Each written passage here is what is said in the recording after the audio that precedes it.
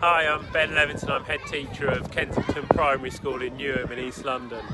We're the 2020 Primary School of the Year and also the TES Wellbeing and Mental Health School of the Year.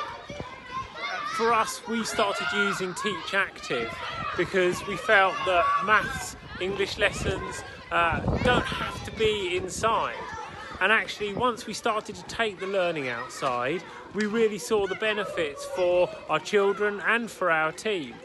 Teach Active provides a structure and resource to help teachers take that learning out of the classroom uh, and into the playground outside of the school and it really helps children to engage and focus on their learning. We find that children who are involved in Teach Active lessons are more likely to retain that information but also more likely to be engaged in their learning once they are back in the classroom. So I would recommend Teach Active to any school.